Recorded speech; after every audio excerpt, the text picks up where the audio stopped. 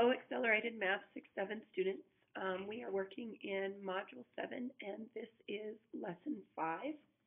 And Lesson 5 is called Ratio of Fractions and Their Unit Rates. Take a look at this. Okay. Ratio of their fractions, ratio of fractions and their unit rates, sorry. Um, the goal for today, today we will focus on finding unit rates from fractions. The question that I want you to be thinking about is how do you find the unit rate when the x value and the y value are both fractions. So we have been working about uh, or working with unit rates. We know that unit rates are the constant rate of change. And in order to understand and know constant rate of change, um, we have to figure out what it is per one. Um, and the other thing that we need to remember is that the constant rate of change is what we multiply any x value by in order to get the y value. So you have to remember the y value depends on the x value being multiplied by the constant rate of change. And the rate of change and the constant and the unit rate are all the same thing. They all have the same um, meaning. Their names are different, but they all have the same meaning. Um, the question that I want you to think about today is how do you find the unit rate when the x value and the y value are both fractions? I said that already. So we're focusing on how do you find unit rate when you have fractions. So the first thing that I want you to do is we're going to go through a little bit of things to remember because it's been a while since we talked about this. But the first problem that I want you to look at is 1 half divided by 3 fourths. And what I want you to think about is if you can visualize this, we have 1 half of a sandwich, okay? And we're supposed to divide that in between 3 fourths sections. So the question is, how many 3 fourths fit in 1 half? So there is a very easy way to um, get going with this if you remember back to sixth grade is we need to convert so that both fractions have the same denominator.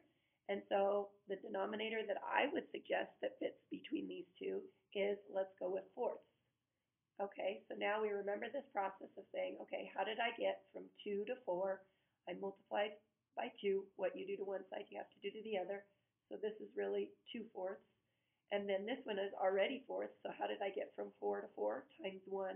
What you do to one side, you have to do to the other. So that would be 3 fourths. So now the question is, how many 3 fourths, okay, I'm going to write that down for you. How many 3 fourths fit into 2 fourths? Okay, that's the question you're thinking about with this. And so the way that we do it is we just, now that we have a common denominator, we can divide straight across.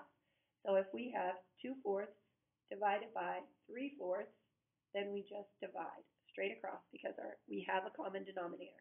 So 4 divided by 4 is 1, and then 2 divided by 3 is 2 divided by 3, which is 2 thirds.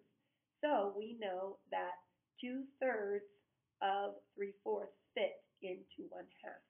And this is our unit rate because a unit rate means, remember what a unit rate means? A unit rate means an amount right, per 1. So do you see the 1 right there? Unit rate means an amount per 1. So do we have an amount per 1? We do. So the answer would be 2 thirds. Okay, so the unit rate for this problem would be 2 thirds. Okay, so now let's try the next one. We have 3 fourths divided by 1 sixth. So again, we're remembering that really handy rule of finding a common denominator that both numbers share. And I like to go with the smallest one that they share because that makes my life mathematically a lot easier. So I know that 4 and 6 both share 12. So I'm going to say 12 is my common denominator. So the question is, how did I get from 4 to 12? Well, multiply this by 3. So what you do to one side, you have to do to the other. So 3 times 3 is 9. Now I'm asking myself, how did I get from 6 to 12? Well, I know that I multiplied it by 2. What you do to one side, you have to do to the other. 1 times 2 is 2. And then the question that we have to think about is, how many two twelfths fit into nine twelfths? Okay, that's the question that we're thinking about. All right, so that's very easy. We take nine twelfths and we divide it by two twelfths, and all we have to do is divide straight across. So we say, okay, twelve divided by twelve is one, nine divided by two is nine halves, okay? We also, if we want to take it further to see it more, we know that nine halves is really four and a half. So we know that four and a half two twelfths fit in nine twelfths, okay? And again, this right here is our unit rate because a unit rate is an amount per one. And so we know that nine twelfths is the amount per one. So we found the unit rate. All right? So now let's do the last one.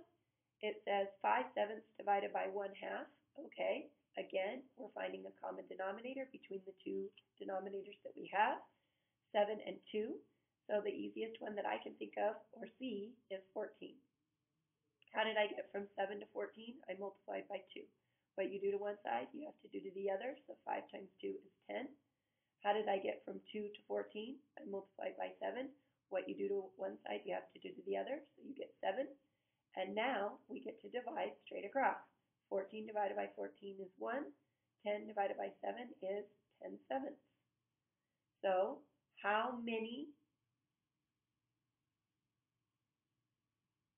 7 fourteenths fit into 10 fourteenths?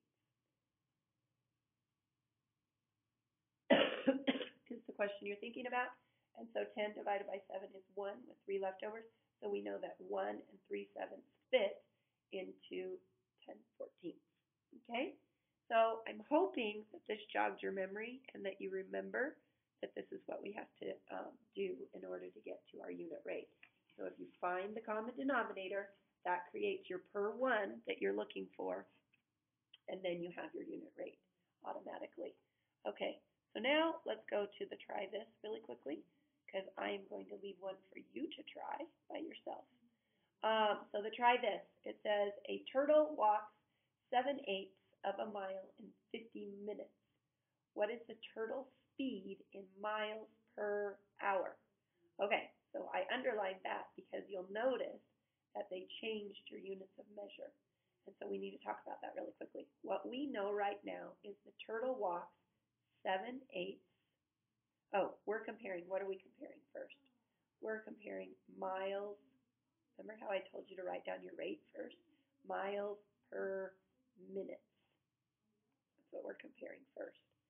So it no, so now that that what the story says is that the turtle can um, walk seven eighths per 50 minutes. I'm sorry, I didn't write that big enough. So these are miles and these are minutes.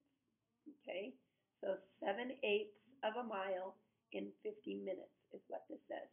And what the um, question is asking us to do is it's asking us to tell what the turtle speed would be in miles per hour. Okay, so we know that one um, minute equals 60 seconds, or 60 seconds, which that's regardless, we don't need that. One hour is 60 minutes, and we know that a turtle can go 7 eighths of a mile in 50 minutes. So how many miles can they go in one hour? We know that one hour is equal to 60 minutes. And so our job is we've got to figure out how far the turtle travels in 60 minutes. Well, right now, we know how far they travel in 50 minutes. So what I would do is I would want to find how far does the turtle travel in one minute, because then I can take whatever that is and I can multiply it by 60, because 60 minutes makes an hour, and then that would tell us what we got for one hour. Okay, so how do we get from 50 to 1? We're going to divide by 50. What you do to one side, you have to do to the other. And so we're going to divide this by 50. Okay, so 50 divided by 50 gives me 1. And now we have a fraction, 7 eighths, and we're supposed to divide it by 50. Okay, so we put 50 over 1. Now we have to find a common denominator. So we're going to say the common denominator is 8. So how did we get from eight to eight? We multiplied by one. What you do to one side, you have to do to the other, so that's seven eighths. And how did we get from one to eight? We multiplied by eight. What you do to one side, you have to do to the other, so this would be four hundredths. Okay? So now that gives us in one minute, remember we're working in minutes, don't get confused. In one minute, the turtle can walk seven four hundredths of a mile. So this is, a very tiny amount, seven four hundredths of a mile. But the reason that we need to know that is because that's how far he travels in one minute. So we want to find out how far he travels in 60 minutes. So our unit rate is seven four hundredths of a mile. Remember, we're doing miles per minute, right? So this, all of this is your miles. And I'm going to scoot this down because then we know in one minute. So it's miles per minute, and that goes down here. So we're trying to get to 60. So we want 60 minutes down here. Okay, so we're looking for 60 minutes because we just agreed that 60 minutes equals an hour. So I'm going to leave this up to you to finish it because I told you you had to do one by yourself. Ask yourself the question, how did I get from 1 to 60?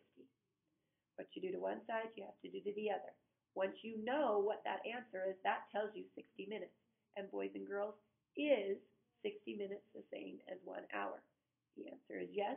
So you have found what is the turtle speed in miles per hour. Okay? So I'm going to let you go ahead and finish that up, and then I will see you all tomorrow. Um, really quick, sorry I forgot this part. Today we will focus on finding unit rates from fractions. We did that, our whole page. How do you find the unit rate when the x value and the y value are both fractions? You remember to find a common denominator, and then you find the amount per one. Okay? All right, I'll see you all tomorrow. Bye.